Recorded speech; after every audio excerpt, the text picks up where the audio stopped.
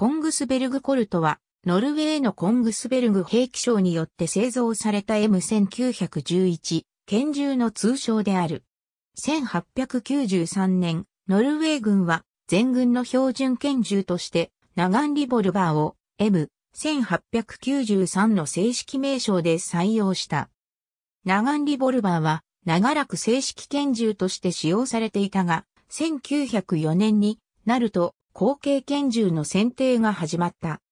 1911年、選定委員会は 38ACP 弾を使用するコルト M1902 拳銃の採用を決定し、試験運用のためにロンドンのコルト社代理店から25丁を購入した。しかし、間もなくしてアメリカ軍が新型の45後継拳銃 M1911 を採用したことを受けて、選定委員会は追加で M1911 の評価を行うことにした。1913年1月、M1911 がノルウェーに届く。そして、1914年初頭までの評価試験を通じて、選定委員会は1914年8月に M1911 の正式採用を決定し、M1914 の正式名称を与えた。1914年9月には、ベルギーの FN 社とノルウェー当局が、ノルウェー国内での生産を認める契約を交わし、コングスベルグ兵器商における生産が始まった。コングスベルグ兵器商が生産していた M1914 は、細部を除き M1911 と全く同一の製品であった。ただし、生産開始は採用よりも遅れ、アメリカからの直接輸入も並行して行われていた。例えば、1915年には400兆が海軍によって、1917年には300兆以上が陸軍によって購入されている。この頃、1兆あたりの値段は18.5米ドルだったという。1916年、採用から2年遅れて、コングスベルグ兵器商が生産を開始した。1917年までに100丁の製造が命じられていたが、最終的に製造されたのは95丁であった。また、これらには誤って、分速11.25メートルアウト、ピストル M、1912と刻印されていた。この M、1912の製造番号は1から95まで存在する。製造番号1は、ガバムメントモデルズの著者、コダードボディが保有しており、製造番号には、ノルウェー軍事博物館に展示されていたが、1978年に盗み出されて行方不明である。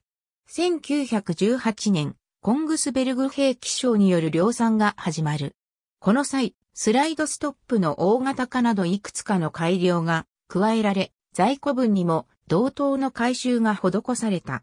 この改良案そのものは1916年から存在していたが、1918年まで再設計が完了しなかった。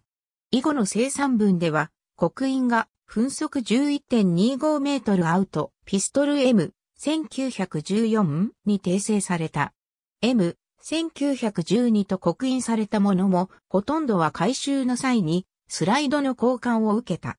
その後も生産が続けられたが、1932年から1939年には、およそ871兆の生産に止まった。なお、1940年までの総生産数は22,300兆である。ナチスドイツ占領下のノルウェーでは、ピストール657として、コングスベルグコルトの生産が続けられた。1945年、ドイツ陸軍兵器局承認を意味するは84の生産記号が刻印されたものが920兆のみ生産された。この刻印が刻まれたのは1945年3月29日に製造された製造番号29615からノルウェー解放直前の1945年5月5日に製造された製造番号3534までのコングスベルグコルトであり、実戦で使用されたものはなかった。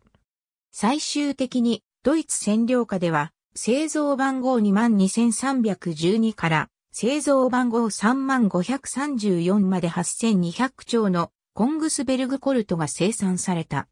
この多くはノルウェー陸軍によって接収され、また700丁は海軍が接収した。